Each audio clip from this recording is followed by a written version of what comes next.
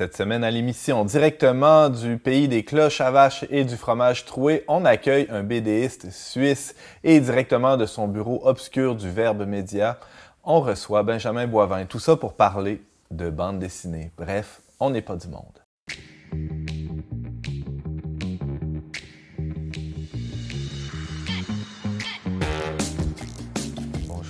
Tous et bienvenue à votre magazine Foi et Culture. Ici Antoine Malenfant, votre animateur pour cet épisode consacré à la bande dessinée. Et euh, je suis très bien accompagné de Brigitte Bédard. Bonjour. Merci, Antoine. Bonjour, bonjour. Benjamin Boivin. Salut Antoine. Salut. Et Alain Auderset. Bonjour. Bonjour Alain. Alain, euh, je le disais en introduction, tu nous arrives directement de la Suisse. Bah oui, ça existe vraiment ce pays. Ça existe vraiment, Ah ouais, c'est ah ouais. Et euh, et t'es euh, au Québec, pourquoi? Ah, parce que déjà, j'aime les Québécois, Ah, sincèrement. une je... Très bonne raison.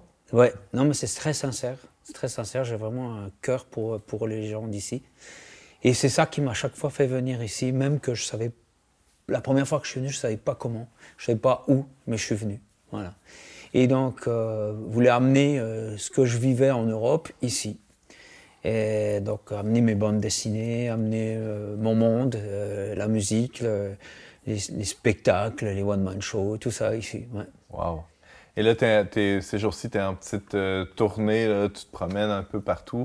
Euh, et t'as fait, euh, tu nous fais l'honneur de faire escale dans nos studios pour, Oh pour nous présenter ton parcours d'artiste, tes œuvres et qui sait peut-être aussi des morceaux de ton témoignage de foi. Écoute, euh, je suis à votre disposition, avec Ah, grand plaisir. formidable, ouais. Formidable. Euh, alors aujourd'hui, on parle de bande dessinée surtout. Euh, c'est quoi votre rapport à la bande dessinée? Brigitte, tiens, c'est... euh, Ouais, ben, ben, je sais que quand j'étais jeune, je regardais des bandes dessinées, genre Tintin, Astérix, c'est quoi ton, ta première BD, mettons, t'en souviens-tu? Je pense que c'était euh, Quick et Fluke. Ah ouais! Oh, mon Dieu. Oui. Quick et Fluke. J'étais très jeune. Et puis, euh, mais après ça, c'est ça, ça a tourné euh, autour d'Astérix, Tintin et Lucky Luke. Puis, euh, mais en vieillissant, là, on m'a présenté d'autres sortes de BD, pas mal plus profondes, pas mal plus, un peu dérangeantes, comme, je t'en parlais hier, là, c'est Mouse. Oui, oui, oui, Mouse, c'est vrai. Mouse, c'est ça. Là, c'est comme euh, les camps de concentration en BD. tu sais, C'était vraiment. C'est des souris, là. Ça, ça m'a. J'étais dans la vingtaine, puis j'ai toujours aimé la BD. Puis bon, euh, en vieillissant, j'en ai connu d'autres. Puis j'en ai fait connaître à mes, mes, mes jeunes aussi, mes, mes enfants. Fait que, euh, ouais, j'ai- ça a toujours été. Hmm. C'est ça la magie de, de la bande dessinée, c'est que oui, ça peut être très léger, très ludique. Là, tu parlais de Quick et Fluke, euh, Spirou, on en nommer euh, Ouais, ouais. une tralée. Mais c'est que c'est un, un médium qui permet d'a- d'aller très dans des sujets très lourds. Et, justement, cette, euh, cette espèce d'a priori ludique que le lecteur a le, le prédispose à rentrer là-dedans. euh, et et d'a- d'arriver dans un univers un peu d'une manière inattendue. Euh, Benjamin, c'est quoi ta- ton expérience de la bande dessinée?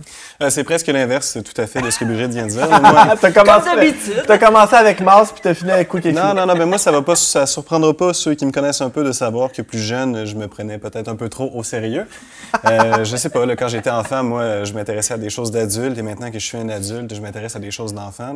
J'ai commencé sur le tard à m'intéresser à l'univers de la fantaisie, la bande dessinée, du jeu euh, de rôle notamment.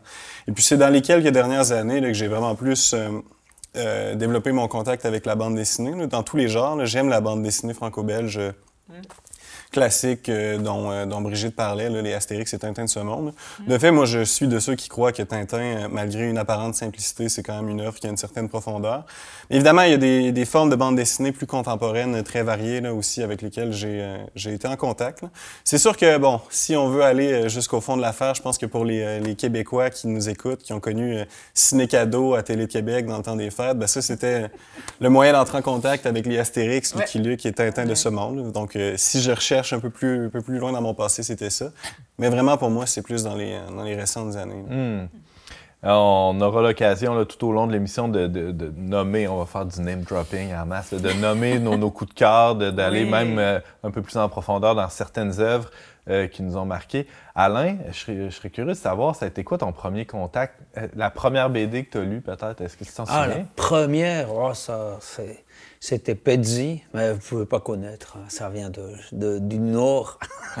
ouais, ouais, ouais, après, j'ai connu plein d'autres trucs, quoi, ouais, ouais. Puis là, maintenant, euh, je suis passionné de manga. Et puis, je pense que ça en ressent dans ma, ma dernière BD, qui était Asvaltia, où même si ça a une allure de franco-belge, la manière de compter est très manga. Et je trouve très intéressant de découvrir de nouvelles choses, d'être à l'écoute de ce qui se passe, d'être à l'écoute des cœurs des gens d'aujourd'hui. Uh-huh. Et puis, donc, euh, je suis très, euh, je suis une éponge, moi. Je suis une éponge. C'est formidable tout ça. Merci Alain, merci à vous deux aussi. Alors, euh, plongeons justement plus avant dans l'histoire récente de la bande dessinée avec Benjamin.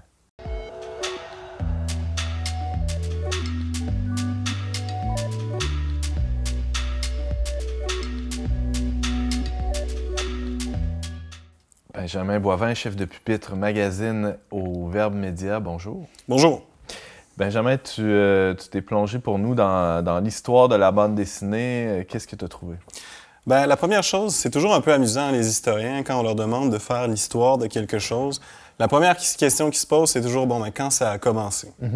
Ou euh, c'est quoi les grandes étapes, finalement, les grands jalons? Et puis, il y a différentes approches, là, il y a différentes manières d'essayer de comprendre les, les prémices, les départs de l'histoire de la bande dessinée. Certains historiens vont aller jusqu'à dire que dès l'Antiquité, en fait, on peut parler d'une certaine forme de bande dessinée, euh, notamment par exemple dans les sculptures ou dans les bas-reliefs. Les Romains faisaient des colonnes euh, très hautes où on voyait des bandes euh, qui racontaient des batailles. Donc la bande, elle monte avec la colonne jusqu'au ciel.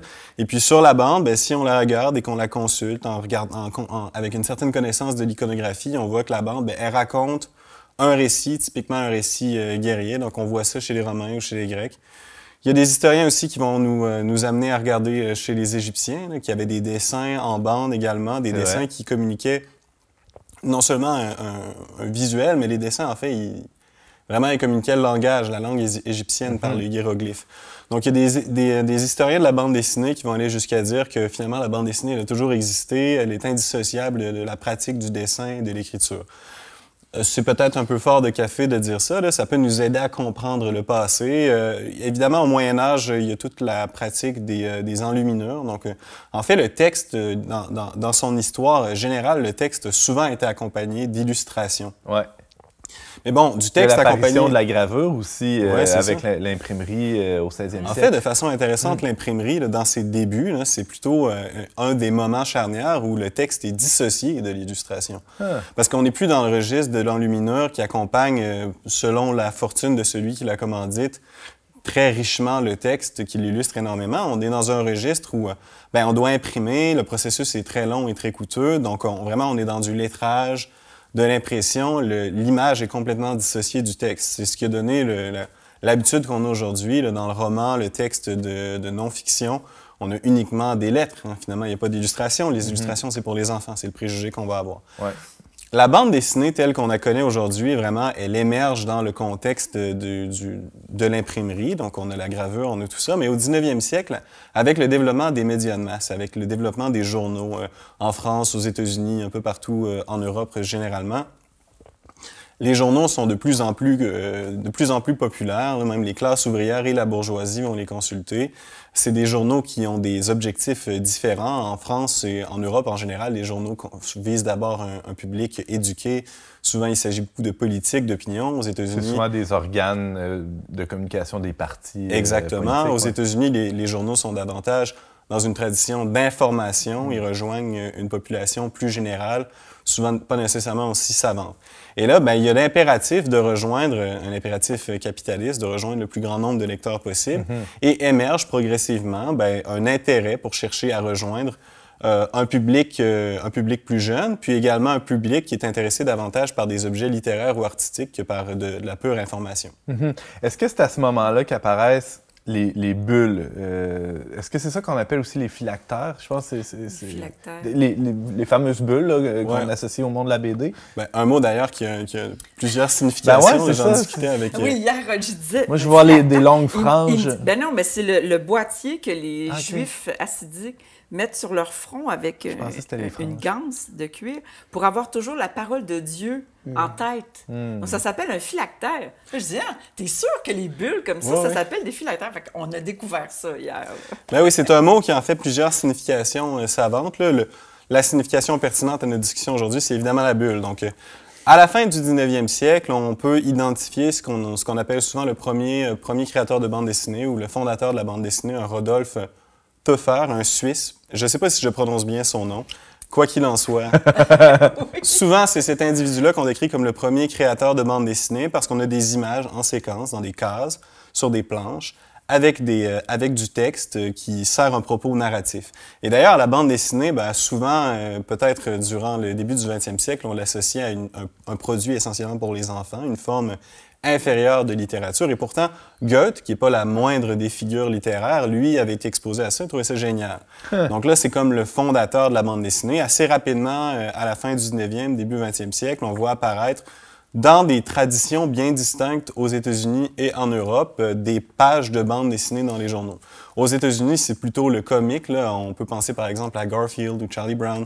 Trois petites cases euh, dans le journal tous les jours avec une espèce d'histoire un peu caustique, euh, comique, euh, qui se suit, mais pas trop non plus. Et puis, dans le monde européen, ben, on voit aussi l'émergence de, de- de suppléments aux journaux, des suppléments qui sont destinés à la jeunesse et qui racontent des histoires par l'entremise de bandes dessinées, le plus souvent dirigés euh, vers les, les jeunes garçons d'ailleurs, quoique tout un, un marché de la bande dessinée pour jeunes femmes qui émerge dans les années 20 dans les années 30. La période de de l'entre-deux-guerres, d'ailleurs, est, est charnière. Ouais. C'est- un grand moment de, de développement pour le monde de la BD. D'ailleurs, c'est une période de développement importante pour plusieurs grandes traditions de bande dessinée. Ça fait plusieurs fois que je fais référence. Je vais essayer de, de poser les distinctions. Donc, il y a vraiment le, le comique à l'américaine Ouais. qui a donné lieu à ce qu'on connaît aujourd'hui, euh, notamment les super-héros. Donc, ça, c'est vraiment une tradition américaine très importante. Euh, Exactement. Donc ça, ça émerge euh, dans le courant des années 30. Là, ça devient très important dans la culture populaire. Il y a la BD franco-belge euh, à laquelle on va associer, bien évidemment, on l'a déjà nommé, Tintin, Astérix, Lucky Luke, euh, Spirou. Il y, en a, il y en a une très grande variété qui vient en bonne partie de l'Europe francophone, donc de la Belgique, de la France, de la Suisse notamment. Quoique c'est un, un- un style qui, euh, qui dépasse en fait la langue française, là, dans le monde néerlandais, dans le monde germanique également. Mais il y a un canon, on pourrait dire. Il y a, il y a une espèce de, de, Ouais, ouais, de vraiment. forme qui est établie, qui est dans un album assez. euh, Exactement, même des, des- un canon très précis, en fait, des albums avec un nombre de pages très spécifique, un nombre de cases, une manière de, de procéder, de numéroter les pages, qui, qui, qui va s'établir et s'imposer, en fait, assez longuement, là, jusque dans les années 70-80, où on va avoir une libéralisation des formes, une diversification des, euh, des maisons d'édition. Et puis finalement, troisième grande tradition, dont je vais parler peut-être un peu moins, vous, je sais que vous allez peut-être en parler, le manga, donc qui est la bande dessinée japonaise, qui émerge de façon intéressante à peu près à la même époque. Ah Donc, ouais. prémisse euh, au euh, 19e siècle, montée en puissance à partir de l'entre-deux-guerres, grande popularisation dans l'après-guerre. Et ces trois formes de bande dessinée aisément reconnaissables, là, on peut mettre un Spider-Man, un Tintin, puis un manga l'un à côté de l'autre. Et puis on a une idée générale de ces trois grandes traditions-là qui sont tout à fait différentes les unes des autres, mais qui vont vraiment euh, devenir assez populaires durant la même période, dans la décennie qui précède euh, la, première, la Deuxième Guerre mondiale. OK. Je vais peut-être parler davantage de la tradition franco-belge, qui est peut-être Ouais. la plus connue de Mais nos, c'est euh, quoi, un man- euh, en, en quelques mots, là, ben, vous, euh, ben, toi, toi, t'en, l'expert, toi, t'en hein? consommes, toi, t'en fais. Euh, c'est quoi un manga? Comment on pourrait décrire ça pour les gens qui qui, qui ont jamais vu ça ou lu ça?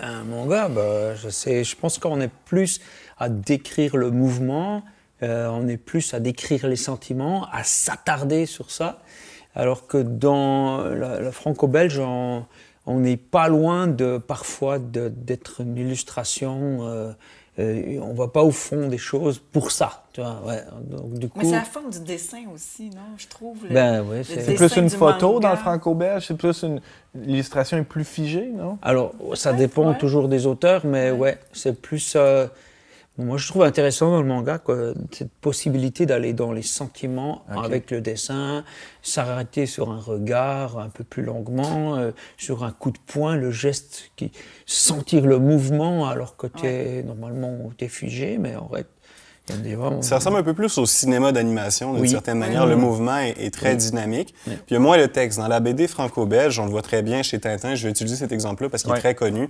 Il y a énormément de textes, en fait. Lorsqu'on lit une bande dessinée de Tintin, ça prend un certain temps comparé à un manga où souvent les pages se suivent assez rapidement parce que on est beaucoup axé dans l'illustration du mouvement, de l'émotion. Euh, on, on voit On plus dans, dans le ressenti, beaucoup plus. oui. C'est ce qui me décourageait Exactement. quand j'avais 10 ans. Moi, je voyais un Tintin, je dit, il y a bien trop de mots. c'est- vrai, ça m'épuisait juste d'ouvrir la page puis de regarder ça. Mais donc. je dirais que c'est plus intellectuel, puis le manga plus émotionnel. Ah ouais. C'est peut-être pour ça que la génération, les jeunes d'aujourd'hui, de cette génération-là, consomment davantage de Ils sont plus manga. dans C'est plus au niveau du ressenti. Ça rejoint un peu le jeu vidéo où il y a beaucoup d'action, euh, les couleurs, les mouvements, comme disait bien. Encore que c'est un univers, tu peux vraiment aller loin. Ouais. C'est dingue, la diversité. Et aussi, la, la- c'est comme dans tout, il y a des, des gens qui excellent et puis Hmm. qui font des choses, tu te dis, wow, ça existe. Ben oui, c'est clair, c'est des univers. On, on fait des petites catégories qu'on Ouais, essaie de distinguer en quelques minutes, qui sont euh, généralement vrais. Puis, Mm. en fait, qui sont généralement vrais plus au milieu du 20e siècle que maintenant. là. On est vraiment à une heure de grande diversité Ouais. dans le domaine de la bande dessinée, Mais- comme dans tous les arts en général. en Mais fait. ce qui me mène à te demander, Benjamin, est-ce que justement la période de, de Goscinny, de, de Hergé, euh, c'est- c'est pas une espèce d'âge d'or qui est derrière nous? Ben, en fait, ouais, dans les trois grandes, dans les, dans les de grandes traditions de la bande dessinée, on parle d'âge d'or, là, l'âge d'or de l'entre-deux-guerres, immédiate après-guerre jusqu'aux années 70. Là, souvent, on, va dire que c'est la période la plus importante. L'une des raisons pour lesquelles on va dire ça, c'est que c'est une période où il y avait des grands éditeurs et des grands auteurs qui étaient massivement connus. Donc, qui étaient très connus dans la culture populaire, qui faisaient euh, l'unanimité ou que beaucoup de gens consultaient de manière générale. Et, ça, ça a émergé progressivement. Le Hergé, lorsqu'il a commencé à écrire, euh, à, à- à faire Tintin, dans les années 30, il travaillait pour un, un journal mineur belge qui n'était pas très connu. Mais des grands auteurs comme ceux-là sont devenus extrêmement importants. C'est la même chose aux États-Unis avec le- le- la bande dessinée de super-héros, le, le comic, où on, on assiste à un phénomène culturel de masse. À partir des années euh, 50, 60, et particulièrement des années 70-80, il y a une diversification, là, qu'il y a de plus en plus de genres différents, de manières de faire de la bande dessinée différentes. Mais il y a certainement une grande prédominance de, de grands auteurs, puis une moins grande prédominance de, de, de maisons d'édition majeures Le marché qui devient donnent, plus éclaté. qui donnent des cotes. Donc, donc le marché devient plus éclaté. Et puis aussi une, une diversification dans le secteur du cinéma, du jeu vidéo qui va évidemment cannibaliser une partie du public qui était acquis à la bande dessinée dans les décennies précédentes puisqu'elles étaient conçues davantage pour un marché jeune.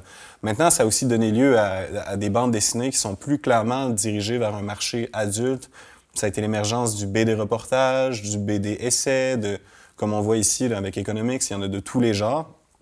Donc, si on peut dire qu'en un certain sens, il y a un, un âge d'or de la BD dans les années 40 jusqu'aux années 70, d'une autre manière, on a, on a affaire à un milieu artistique beaucoup plus libre aujourd'hui qu'à cette époque-là. Et quand même florissant parce que je veux dire, des, des gens qui vivaient de faire de la BD au Québec euh, dans les années 70-80, je pense pas qu'il y en avait tant que ça, alors qu'aujourd'hui, il y en a. Euh, donc, la- si l'âge d'or est derrière nous, euh, l'époque d'aujourd'hui n'est pas triste du tout. là. Ben oui, au Québec d'ailleurs en particulier, de fait, le marché était dominé dans l'époque dont nous parlons, les années 50, 60, 70, par de la, la BD franco-belge, puis en partie la BD américaine. Mais il n'y a pas une énorme production de bandes dessinées. euh, Comme pour la bière, on buvait, on buvait de la bière américaine dans les années 70-80, puis là, on, s- C'est on un peu la même chose, On a fait. fini par faire nos affaires comme des grands. Non, mais Alors, alors qu'aujourd'hui, il y a des BDistes extrêmement connus qui, sont, qui, sont, euh, qui font partie de la culture populaire et que bien des Québécois connaissent. Donc, on peut penser à Guy Delisle ou à Michel Rabagliati, là, qui sont probablement les deux euh, BDistes québécois les plus connus. Rabagliati qui fait... tu les la- connaissais déjà? Oh, oh, oh, oh, oh, oh! Ils sont pas si connus. Ils sont connus des Québécois, en tout cas.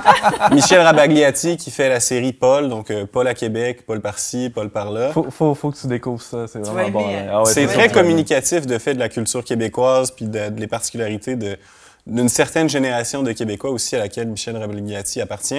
Et puis Guy Delisle, ben là, on est vraiment davantage dans la BD de voyage. Donc, euh, dans la BD, il a fait un peu le tour du monde. Euh, autobiographique, beaucoup la mise en scène de sa personne dans une variété de contextes avec Chronique de Jérusalem, Chronique Birman, euh, Shenzhen, euh, Pyongyang aussi. Pyongyang. Puis il y a aussi toute la séquence du Guide du mauvais père, dont peut-être Brigitte va nous parler un peu plus tard. Donc ça, c'est ça, c'est l'émergence d'une BD québécoise euh, contemporaine avec des éditeurs comme euh, La Pastèque, par exemple, ou dans le milieu canadien aussi, qui est- qu'on connaît peut-être moins au Québec, mais qui est quand même majeur. là. Il y a Drawn and Quarterly, qui est une grande maison d'édition euh, de bande dessinée. Il y a plusieurs BDistes canadiens-anglais qu'on connaît peut-être moins au Québec, mais qui sont très importants. D'ailleurs, je pense que la Post Canada vient de sortir une série de timbres euh, honorant une diversité de BDistes Ah, canadiens ouais. vivants là, depuis, euh, depuis quelques semaines, je pense. Chester Brown, Seth, encore une fois, les deux Québécois que je viens de, les Québécois que je viens de nommer. Hein. Donc, au Québec, la BD se porte extrêmement bien. Puis en Europe, ben, on parlait du festival euh, d'Angoulême un peu avant l'émission. Ça demeure un événement international majeur qui attire une quantité phénoménale de gens. Et c'est pas le seul. Il y en a d'autres à Québec aussi. Comme les Oscars ou le festival de Cannes euh, de la BD. là. Ouais, ouais, à Québec, on a un festival de BD Oui, oui, on a un, un festival de BD à Québec qui est adjoint au Salon euh, du Livre de Québec, qui fait des activités d'ailleurs pendant toute l'année. Le BD Québec, c'est une organisation qui fait des, des activités, des expositions, des échanges culturels, des participations à des euh, festivals internationaux. Donc la BD québécoise se porte bien. Et d'ailleurs, la BD franco-belge se porte assez bien aussi. Il se vend énormément de, BD en France, euh, en Belgique. Et aux États-Unis, la bande dessinée euh, des comics, qui a été vraiment l'élément culturel majeur de l'âge d'or, ben, continue de dominer l'espace culturel à travers le cinéma Ben. De super-héros. là, On a même fait une émission spéciale là-dessus en euh, Monde. peut-être au point, peut-être au point de l'écœurement, diront certains. A- C'est ce que mes, mes ados disent. Alors, si mes ados le disent. Ils sont c'est saturés? vrai. Ah ouais? Ah oui, ils trouvent que les Marvel, c'est rendu n'importe quoi. Bah. Fait que je dis, ben, allez lire les BD. Ah, ben ouais. Parce que les autres, ils connaissent juste les films. ils connaissent pas les BD. Tu sais, c'est tout à l'envers. On peut avoir trop d'une bonne chose. Ouais, c'est ça. Mais au, au Verbe, on n'a pas trop de cette bonne chose-là. Euh, D'ailleurs, on a décidé de faire de l'espace aussi euh, Ben pour les, euh, les, les bulles. Je disais que je me prenais trop au sérieux quand j'étais plus jeune. L'une des raisons pour lesquelles j'ai eu à m'intéresser un peu à la bande dessinée, c'est que j'ai j'ai voulu introduire, euh, réintroduire plutôt la bande dessinée dans les euh, publications papier du Verbe. Uh-huh. À partir du mois de, de- de- de juillet dernier, on a commencé à avoir euh, une, une petite bande dessinée vraiment inspirée de la tradition du comics à l'américaine, au niveau de la mise en forme, la présentation. Donc, on pense encore une fois à, Peanuts ou à, ou à Garfield. Euh, on, on a vraiment une BD qui se veut foi et culture, qui euh, parle de questions notamment liées à la doctrine sociale de l'Église et les enjeux de société à partir d'un regard de foi. Tu vois, c'est un puis, sujet lourd là, qui, peut, qui peut paraître euh, un peu rébarbatif ou pesant. Mais Ouais. c'est qui qui fait. C'est qui Euh, le c'est- Louis Roy. Louis Roy, qui est un illustrateur qui a beaucoup travaillé avec nous. Donc, il, il a décidé de se lancer dans le- l'exercice de la bande dessinée. Ben, c'est un, c'est un amateur qui travaille à devenir un pro, si on veut. c'est vraiment beau en tout cas. Euh, Benjamin Boivin, merci pour ce tour d'horizon de, de l'histoire de la bande dessinée. Je rappelle que tu es chef de pupitre pour le magazine Le Verbe. À bientôt. Merci.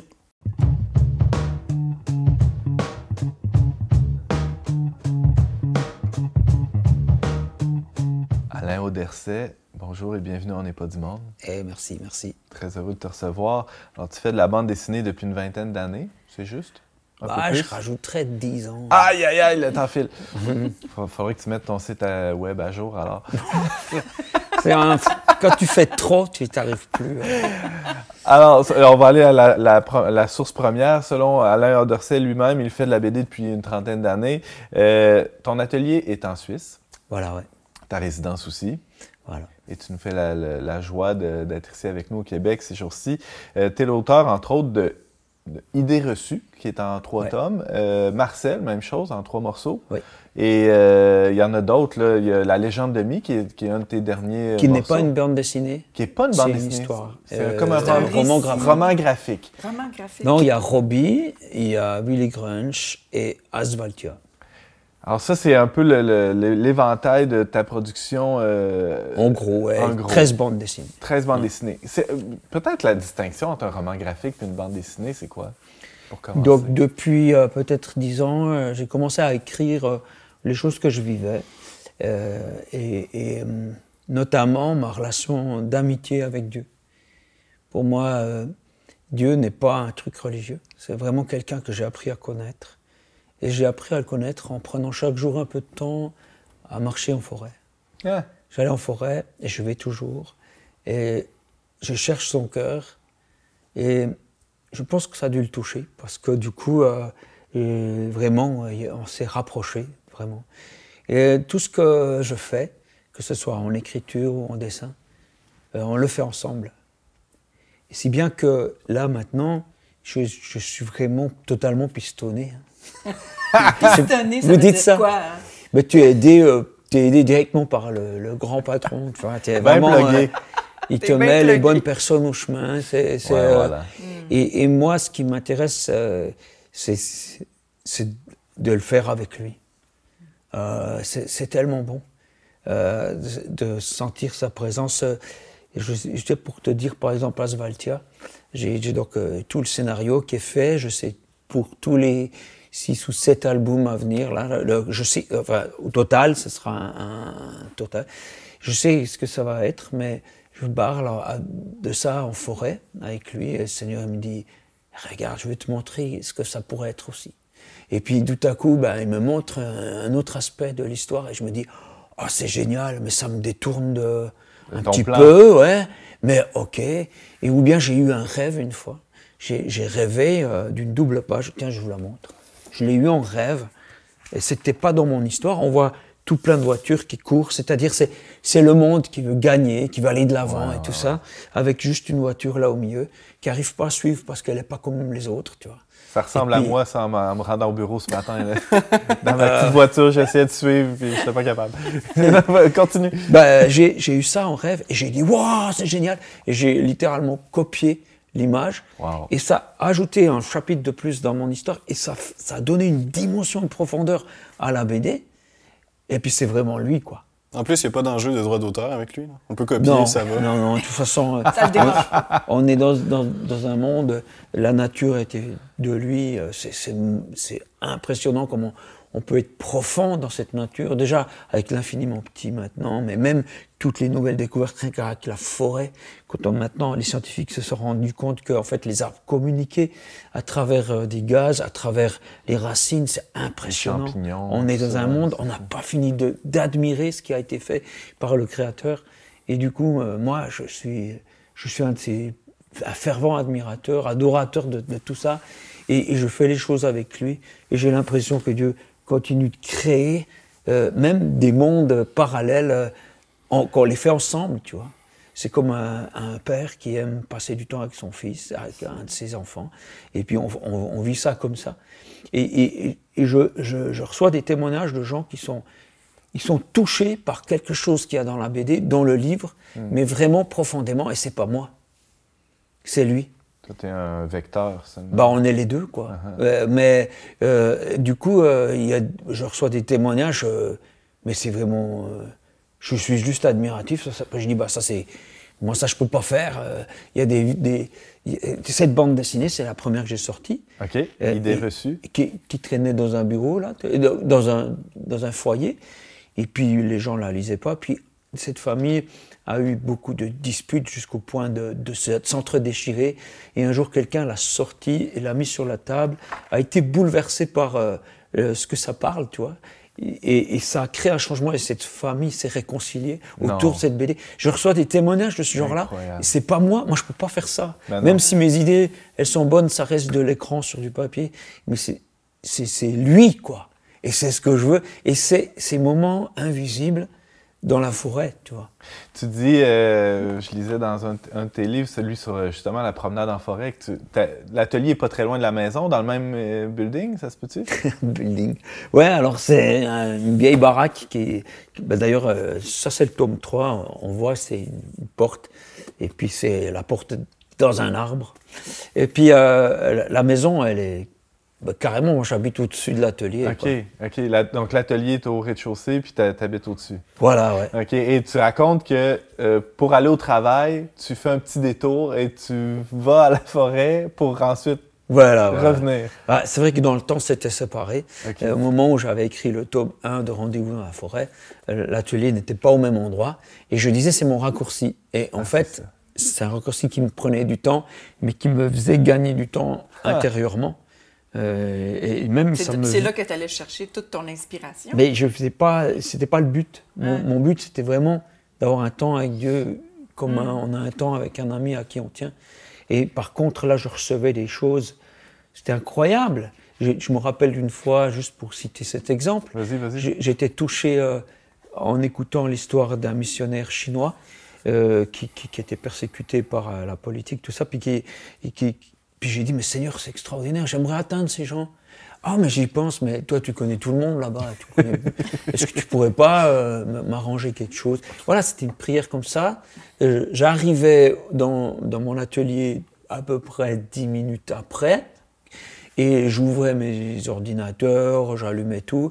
Et dans mon courrier qui arrivait, il, il a marqué Bonjour, je suis chinoise, j'adore ce que vous faites. Et là, moi, je dis Mais c'est toi, Seigneur. Ah, c'est toi, je t'ai reconnu. Et, et c'est comme ça que j'ai parlé avec cette personne qui est une chinoise à Paris, qui m'a dit eh ben, euh, que- qu'elle aimait ce que je fais. Puis moi, j'ai dit Mais c'est incroyable, je viens de parler à Dieu. De... Puis, de fil en aiguille, mon livre est sorti en Chine. Voilà. Wow. Et, et- et- et parce qu'elle me dit ah ben moi j'ai justement une amie qui va avoir un, un éditeur et tout ça et voilà c'est- arrivé quoi et, et moi mais c'est merveilleux de pouvoir vivre cette relation avec Dieu tu vois où c'est vraiment lui qui est là qui marche devant toi qui marche avec toi et, et les témoignages de, de vie bouleversée tout ça Et en te laissant guider comme ça, ça te donne. On, on pourrait penser que tu es comme un pantin dans, dans la main de Dieu, mais au contraire, ça te donne une grande liberté parce que tu n'es pas en train d'essayer de plaire à un éditeur ou euh, tu, tu- tu te laisses aller à, à ce pourquoi tu es fait euh, Ouais. complètement. Alain Auderset, euh, raconte-nous peut-être euh, la légende de Mi. Qu'est-ce que, qu'est-ce que ça dit? La légende de cette Mi, histoire-là? c'était il y a dix ans où j'avais pas le moral, ça peut arriver, tu vois, même tout croyant que tu es. Je savais pas pourquoi il m'arrivait des injustices, pourquoi j'étais si malheureux et tout ça. Et je pense que Jésus m'a vu venir en forêt et que plutôt que de me laisser parler, parce que je n'avais pas envie de parler, et, eh ben, il y a une histoire qui m'est téléchargée dans la tête le temps que je marche dans la forêt. C'était incroyable. Et je sortais de la forêt, l'histoire s'arrêtait, et le lendemain, l'histoire recommençait. euh, et juste au C'est troisième... comme si tu captais juste le Wi-Fi dans la forêt. Absolument. Je ne je, je faisais pas d'effort pour savoir qu'est-ce qui va se passer. Je ne savais aucune idée de comment ça allait finir. Même à un moment donné, je me disais, mais comment une telle histoire peut se terminer?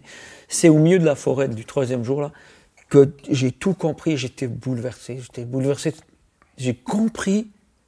Enfin, je peux pas dire, j'ai pas tout compris, mais j'ai compris pourquoi il y a de la misère, puis que Dieu est bon quand même.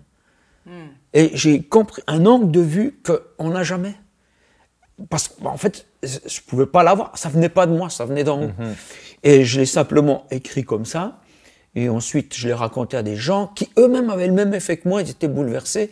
Et de, petit, de fil en aiguille, et il y a une amie qui a trouvé, cette, une fille qui fait de la couleur chez moi, qui a trouvé ce texte. J'ai dit, mais il faut faire quelque chose avec ce texte. J'ai dit, oh ben oui. Puis on a fait un spectacle. Euh, ben, c'est c'est la raison de ma venue au Québec. C'est-à-dire que j'ai pris euh, la guitare électrique, ce que j'aime beaucoup, tu vois. Ouais, tu joues de la musique aussi. Ouais, Ouais, c'est un peu une musique façon Santana, Pink Floyd, tous des trucs Ouais, que ouais, j'aime bien. Un peu planant. euh, Ouais, mais quand même bien rock, comme ouais, ça. La bonne Et distorsion. puis, je raconte cette histoire que j'ai eue en forêt. Et cet artiste-là dessine derrière moi. Tout ce que je dis apparaît à l'écran. Et euh, du coup, euh, il y a quelque chose de Dieu qui se passe parce que je le fais, on le fait avec lui. Et quand on rallume la salle, on voit, la- on voit des gens en larmes, des gens touchés, des gens vraiment émus. Parce qui- que ça touche à la, la misère des. Tout le des monde gens. en a. Tout, le monde en a de la misère. hein. Et aussi, ils ont prié pour que ça s'arrange, ça s'est pas arrangé, ils n'ont pas compris. Et là, tout à coup, c'est comme si c'était clair, tu vois. Et euh, c'était il y a à peu près euh, plus, plus d'une année, là. Euh, en, en venant de forêt, le Seigneur m'a dit, dans mon cœur, il m'a dit, maintenant c'est le moment d'écrire l'histoire. Et j'ai dit, waouh, ok, je me réjouissais de ce moment. Et, j'ai dit, alors, combien de temps je vais faire par jour? Parce que j'essaye de ne pas faire plus que ce qu'il veut, et pas faire moins. Ça me permet d'avoir un équilibre. Et, et, euh, je ressens, tu passes trois heures par jour à écrire. J'ai dit, mais c'est beaucoup trop. J'ai déjà toute l'histoire. Il répond rien, mais je le sens sourire. Et j'ai pris trois heures, j'ai- fidèlement pris trois heures. Et en fait, je raconte l'histoire qui se passe sur une île et je découvre le reste de l'île. Je découvre qu'en fait, c'est plus vaste, que c'est plus profond que l'histoire que j'avais reçue en forêt. Et du En coup- écrivant, Ouais.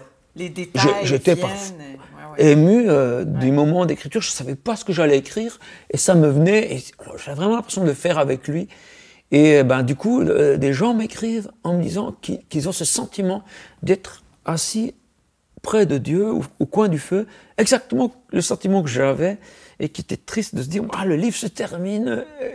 Et j'ai dit ben non il se termine pas tu peux. Avoir cette conversation avec Dieu tout seul là où tu es forêt ou pas forêt hein, c'est-à-dire c'est un moment tranquille où tu parles sincèrement tu parles sans sans maniérisme. Vraiment euh, tu t'efforces à, à- à parler. J'allais dire c'est presque insultant de dire ça comme à une personne. Mais c'est une personne, Dieu. C'est pas juste une énergie, c'est plus que ça. C'est quelqu'un qui, qui, chaque fois qu'il s'est présenté à nous, a dit qu'il était comme un père, comme une mère, comme un fiancé, comme toutes des, relations qu'on puisse comprendre entre nous, qui sont extrêmement fortes. De grande proximité, ouais. Ouais.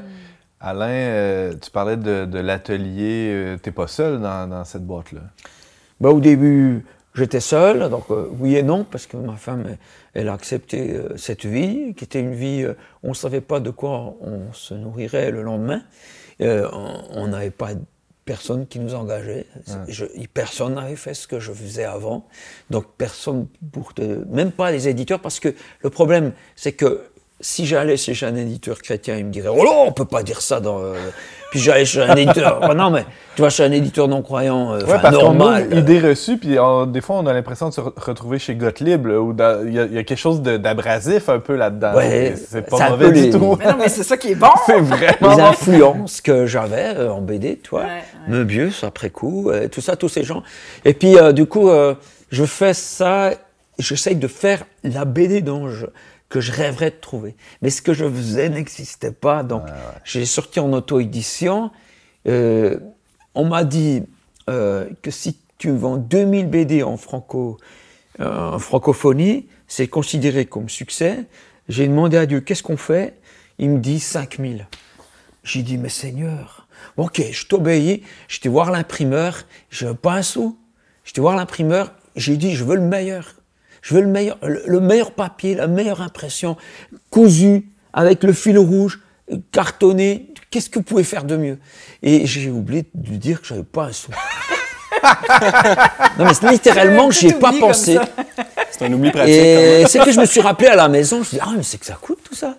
Ça t'a évité de lui mentir, cet J'ai oubli-là, plié ouais, le genou. J'ai plié le genou, puis j'ai- j'ai appelé le père. J'ai dit, en fait, je- depuis le début de cette histoire, on est ensemble, fais quelque chose. Et voilà qu'un homme que je ne connais pas, qui m'a vu une fois euh, parler à un endroit, alors que je n'étais pas populaire, mais il, il m'a dit, j'étais chez moi en train de prier, et je t'ai vu en vision, je t'ai vu. Qu'est-ce que je dois faire? J'ai dit, mais t'es qui? Il me dit, ben, moi, je travaille dans une entreprise américaine. Je dis, oh bon, américaine, ben, finance-moi le livre, alors. Pour moi, américain, euh, voilà, c'est ça, je suis Argent. manager. voilà, Américain, argent. euh, il a eu un petit silence. D'habitude, ça suffit à les chasser définitivement, hein, ces gens-là un peu mystiques. Puis, euh, il m'a rappelé, il m'a dit C'est OK, je te prête l'argent, tu me rembourses à mesure que tu vends tes livres, sans intérêt, tout. Alors, on a imprimé 5000 livres. La télévision nationale s'est pointée à l'atelier alors que je pensais que c'était impossible. Mais je les ai quand même appelés, mais tremblants, hein, je les ai appelés. Ils sont venus. Coup de pub incroyable. J'ai ouais. pas voulu ça. Je- J'y suis pour rien, je vous promets. Mais au moment où sort ce reportage, il y a deux avions qui foncent contre une tour aux États-Unis. Mon livre sort le 11 septembre 2001. Hein. Et tout le monde en Suisse pense que c'est la troisième guerre mondiale qui débute. Allume la télé et avant le journal, il y a Bibi. J'ai jamais eu un taux d'audience. Le pays n'a jamais eu un taux d'audience pareil. Mes livres sont partis, mes Le 5000 livres. malheur des uns. Ouais. Là, j'ai pas voulu ça. Ça hein. s'invente pas un truc comme ça. Non, non, c'est ça. Mais je me dis, un jour, mon livre leur fera du bien. Je, je me dis, un jour, il est sorti en, en anglais, mais là, j'ai encore pas d'éditeur. Euh, Mais je, je sais qu'il y a, c'est pas, c'est- il y a un truc qui va se passer. Et je suis dans l'attente, comme dans plein de choses dans ma vie. Et euh, donc, euh, on a vendu tout en trois mois. On a dû rééditer, rééditer, rééditer. On a rendu à 80 000 livres vendus pour quelque chose qu'un éditeur euh, n'aurait dit, ça, ça marchera pas parce que Ben c'est- ouais. il n'y a rien de pareil. Ça coche aucune case, ça, ça rentre nulle Ouais. part. Ouais. Tout à coup, Dieu apparaît dans, dans un monde moderne avec un langage qui correspond à un monde moderne. Et en fait, il n'a pas changé. Il a toujours été le même, mais il, a- il est adapté à la culture du moment. C'est Marcel aussi qui, qui- qui s'adapte à la culture du moment, la, la série Marcel. Marcel, ouais, alors donc ça, c'est le tour ça même. parle à- euh, aux gens, euh, qu'ils soient croyants ou non. là. Ouais, alors moi je vise vraiment, je vise pas euh, les croyants, moi je vise euh, mes potes qui ne le sont pas. Ah, je les aime, je les aime, mais ils sont bien paumés, je dois dire. euh, parce qu'ils se disent, ouais, l'important dans la vie. En fait, tu réfléchis, ils font crépéter ce qu'on leur a dit dans les pubs, là, de percer, de, de- de La percer, mais pour aller où euh, De devenir riche, mais pourquoi faire? Tu peux rien prendre avec toi. Euh, c'est- et puis en fait, il n'y a, y a pas de sens, ils sont perdus. Comme Marcel, tu vois, on le voit sur une route, on ne sait pas où il va. Euh, puis, puis lui, il ne sait pas, mais il y va. Et ben, du coup, euh, j'ai proposé Marcel et Willy Grunch dans des magazines qui n'étaient pas du tout euh, religieux, tu vois. Et puis, euh, poser des questions. De temps en temps, le- la thématique de Dieu, ça faisait jaser. Donc, j'étais souvent rappelé à l'ordre. euh, on n'ose pas parler de Dieu dans notre Deux pas en avant, un pas en arrière. Ouais, ouais, ouais, mais je me suis fait, ouais, bah, je me- je- d'accord, ok, ok, pas de problème. Puis, puis voilà, puis je revenais quand même à la charge, euh, mais euh, c'était, c'était bon enfant, c'était, ouais. Et puis, euh, ben, ben voilà, ça, ça permet de, euh, de, comme, comme dans, t'as un pote, il est un peu bizarre, mais il dit qu'il est croyant. Mais c'est vraiment un bon pote, il s'intéresse à toi, il, pr- il prend les thématiques qui t'intéressent dans la vie, et tout à coup, il te dit, bah, tu vois, t'es pas, pas seul, Dieu est là. Et puis, ben, ils se disent, bah, pourquoi pas?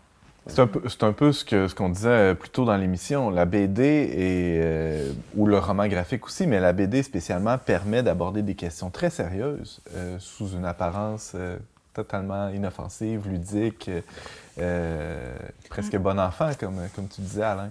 Euh, Pas menaçant. Ouais, moi je BD. pense que c'est le meilleur moyen d'enseigner ou d'apporter des grandes vérités. C'est que quand on est en mode, je vais vous dire, maintenant c'est l'école, maintenant on va étudier, on va avoir un diplôme, les gens en fait inconsciemment se ferment, ils, ils se, ils se mettent en pression. Ou en mode performance. ou en Ouais, mode, euh, euh, puis ça transpire. faut ça rentre. Mais en ouais. fait, plutôt qu'ouvrir les portes, ça les ferme intérieurement parce qu'il y a des peurs. Par contre, tu dis, et maintenant on va se divertir, tout s'ouvre, et là tu dis des grandes vérités, et, et ça passe. Et moi, j'adore ça, de, de pouvoir apprendre des choses en rigolant, quoi, en passant un bon temps.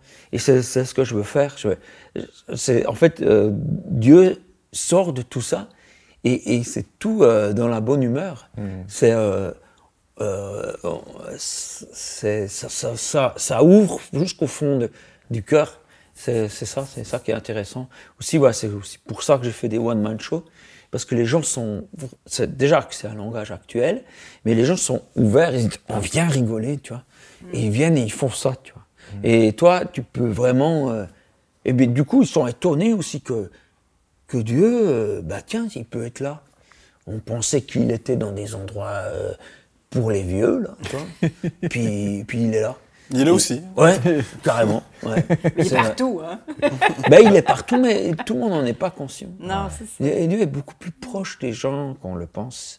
Il est beaucoup plus proche. Ben, c'est ce que dit, ce que dit euh, la légende de Mi, ce- celui-là. Là. Ça, ça dit vraiment ça. C'est un, un homme qui, enfin, d'abord un enfant, qui doit porter une misère, là, puis qui attache lui à une chaîne, qui comprend pas.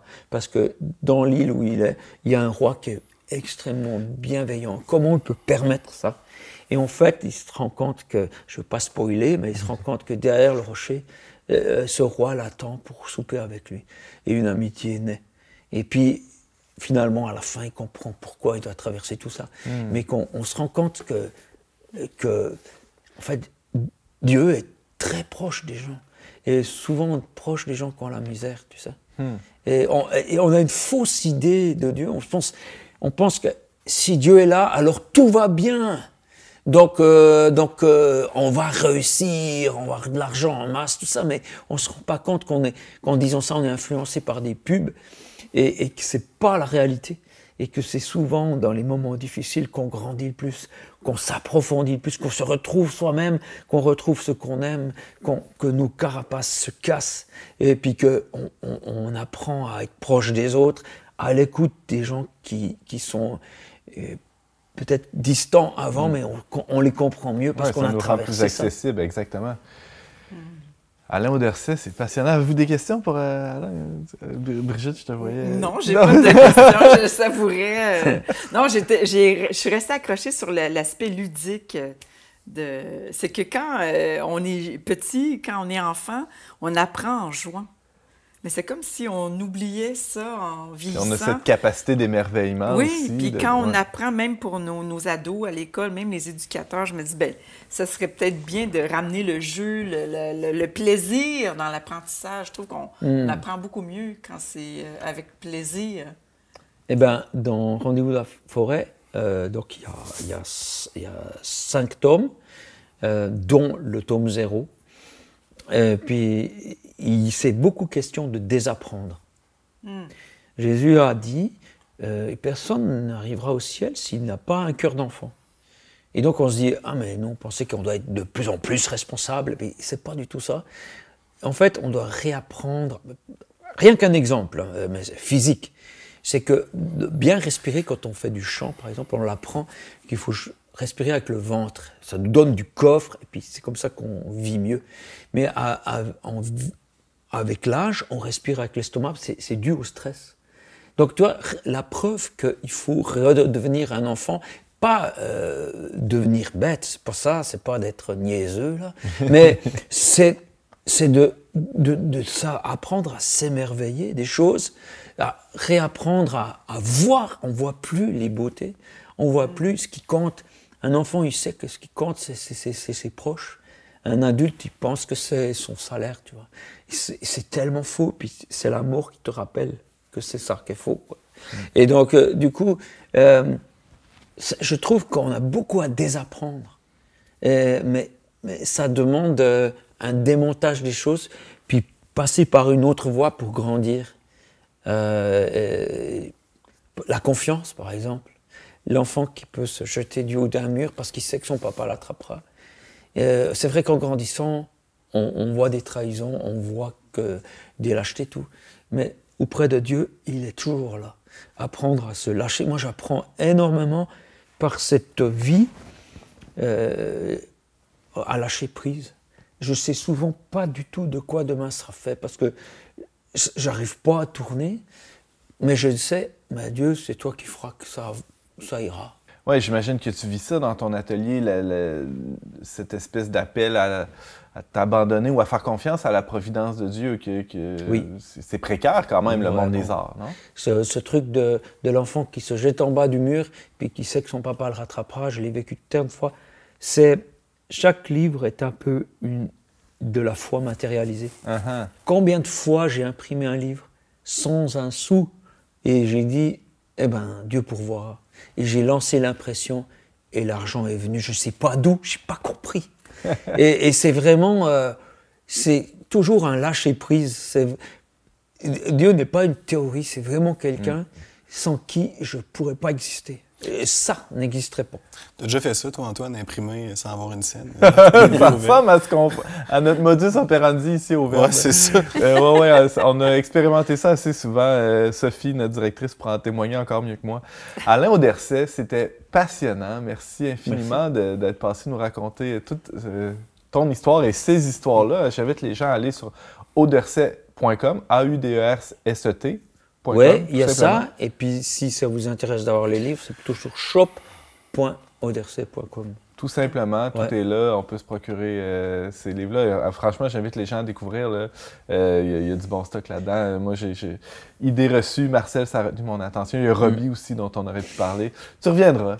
Et euh, si jamais, ben, il y a 80 pages offertes Oui. quand vous allez sur shop.oderc.com. Vraiment, vous pouvez les télécharger, c'est gratuit. Il n'y a pas d'entourloupe. Euh, Non, c'est vous- vrai, je l'ai expérimenté. Ah oui? Pas dans tourloupe. Génial. Merci beaucoup, Alain. Euh, merci à vous.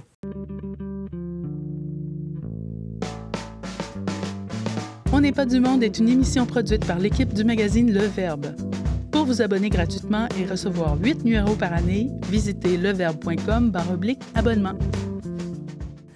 C'est déjà presque tout pour cet épisode sur la BD, mais il faut, euh, faut avoir des exemples, des, des noms, euh, des suggestions. ceux qui euh, nous Brigitte. regardent vont Ouais. pouvoir voir les, les, les BD, mais je Ceux qui nous écoutent, faut qu'ils qui nous regarder. Mais voilà, c'est ça. Moi, je suis plus visuel, qu'est-ce que vous voulez. Mais je veux, vous, je veux simplement partager quelques BD que Ouais. j'ai chez moi à la maison.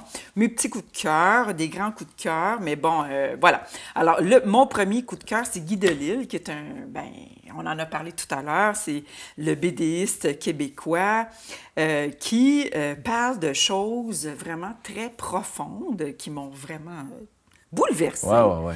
Surtout dans Chronique de Jérusalem, comme ça. euh, le premier, juste, tu rouvres ça, là, la première fois que j'ai lu ça, là, les premiers dessins, là, il est dans l'avion, il s'en va en Israël, puis là, le- son petit bébé à côté pleure, puis là, il y a un monsieur qui prend soin de son bébé, puis là, il se rend compte que il y a un numéro de tatoué ici, Hmm. puis c'est un survivant euh, de l'Holocauste. Euh, euh, ça commence ça comme ça, première page. Wow.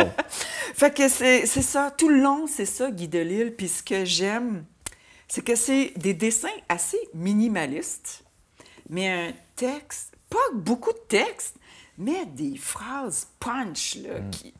Ça te rentre dedans. Fait que Chronique de Jérusalem, moi, c'est mon préféré. Mais il y a aussi le guide du mauvais père que toi, tu m'avais fait connaître. Tu m'avais dit, Brigitte, je vais acheter ça pour mon mari. C'est tout moi, ça. Tu voulais apprendre à devenir un mauvais père? Ben, je voulais que mon... J'ai pensé à Hugues, ben J'ai- oui. j'ai- oui, c'est ça. Ben, j'ai présenté ça à Hugues, il n'a pas vraiment aimé ça. j'ai dit, tu vois, il faudrait que tu te lâches lousse un peu. tu sais. Mais non, lui, il est très, Ouais, tu sais, ouais, by ouais. the book. Fait que, bon, c'était pas son bag. Mais vraiment, moi, je, je, je- c'est mon petit coup de cœur. Rapidement, pour démontrer le, le talent incroyable de Guy Un de ses derniers, c'est S'enfuir, où ça raconte une Oui. prise, de- une d'otage pendant 4, ou 500 pages. Il se passe rien. Ils sont entre quatre murs. Le gars, il est accroché à un calorifère, il peut pas bouger. Il se passe rien. Mais c'est captivant. Tous mes enfants l'ont lu d'un couvert à l'autre, euh, presque d'une traite. Ah, c'est ça. Mais c'est ça, Alors, Guy c'est- Delisle, c'est il, ça, le talent. il a vraiment un talent incroyable. Ouais. Puis, bon, on parlait des mangas. Alors, moi, la première fois que je suis tombée sur des mangas, c'était la Bible. Non! Je te dis, toute la Bible au complet. Puis c'est comme ça que j'ai fait connaître la Bible à mes enfants. Bon, parce que moi, quand j'étais jeune, la seule affaire que je connaissais de la Bible, c'était Jésus de Nazareth, là, le film de 6 heures. De Zeffirelli. De, de Zeffirelli. Je suis tombée là-dessus, j'avais 9 ans. J'étais comme, oh, wow, qu'est-ce que c'est ça, tu sais. On n'a pas vraiment eu d'éducation religieuse, mais je me disais, tu sais, c'est quand même le socle de notre civilisation, la Bible. là. On est quand même dans un monde occidental judéo-chrétien. Puis je trouvais que c'était important que mes enfants ils connaissent Ben, la Bible, puis comment les. La grosse base. C'est ça. Alors, on a commencé avec Jésus, le- avec Manga le Messie, qui est en fait le numéro 4. T'as pas commencé par le début? Non, j'ai commencé avec Jésus. Fait que c'est permis, on plus peut faire ça. friendly, Ouais. Éternel rebelle. Ben, tu sais, pourquoi pas, tu sais, le gars qui arrive, Jésus, ouais, tu sais, tout ça. Mais au début, c'est c'est vraiment les, toutes les 72 ou 73 li- livres de la Bible qui sont en cinq volumes. OK. Donc, tu as la mutinerie, qui est euh, le début, la Genèse. Le et tout malin ça. qui- qui se rebelle Le- contre le- Lucifer Ah ouais. qui veut rien savoir, puis qui tente Adam et Ève. Mais les dessins sont géniaux. C'est vraiment euh, un vrai manga, là. Puis euh, c'est ça, Lucifer, il est vraiment séducteur sur les dessins. Ève, regarde, c'est une beauté fatale. Check-là comment qu'elle est pitoune. bon, c'est ça. Puis t'as euh, les magistrats qui sont les rois, puis tout ça. Les juges. tout Ensuite, ça. les messagers, tu as les prophètes, Ouais. tous les livres des prophètes. Puis c'est ça, après ça, tu as le Messie, Jésus. Et ensuite, la métamorphose, qui est ben, tous les actes des apôtres, l'Apocalypse, puis tout le kit. c'est vraiment trippant. Wow. Moi, mes enfants, ils, Ils ont aimé ça, ouais. ils ont tous aimé ça. C'est qui comme créateur de ça? euh, c'est qui, c'est qui, c'est qui, c'est C'est une japonaise. C'est une japonaise, oui, Ah ouais. c'est ça. Je ne saurais dire son nom.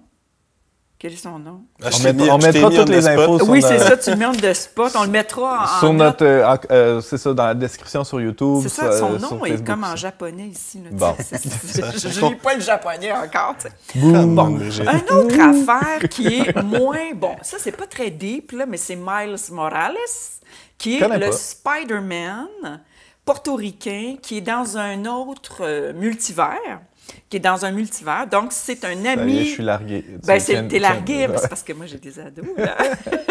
et des jeunes adultes. Puis Antoine n'est pas dur à larguer. qui m'ont- Ah, Merci, en fait, ils m'ont initié à tout ce monde des multivers, des Marvel, des Ouais. tout ça.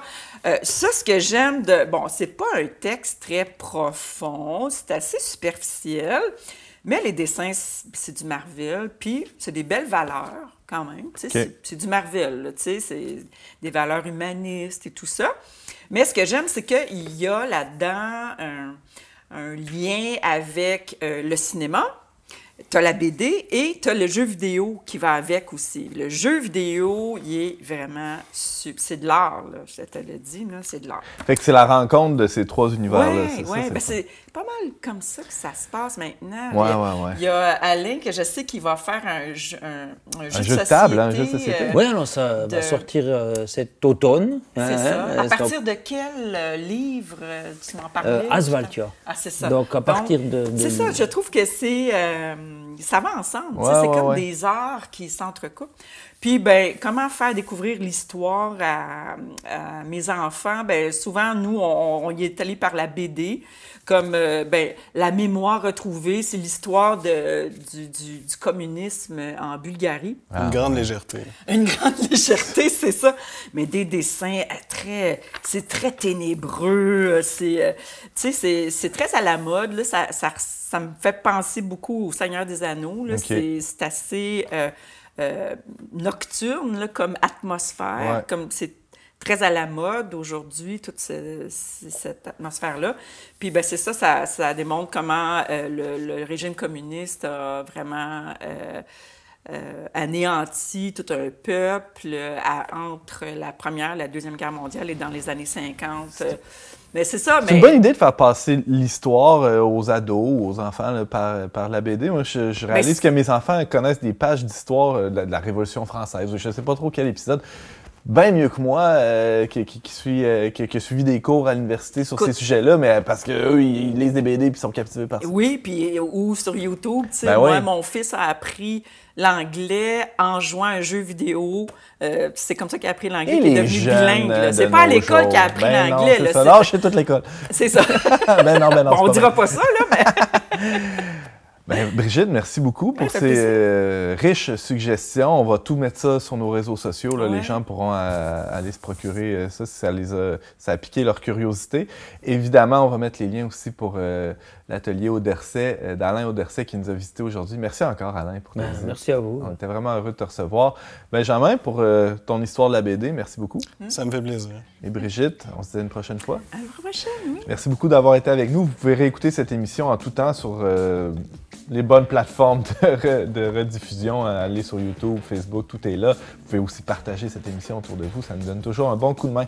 Merci à Marianne Martin et Barthélémy Rieux à la réalisation technique de cette émission. Et je vous dis à la semaine prochaine pour un autre épisode d'On n'est pas du monde.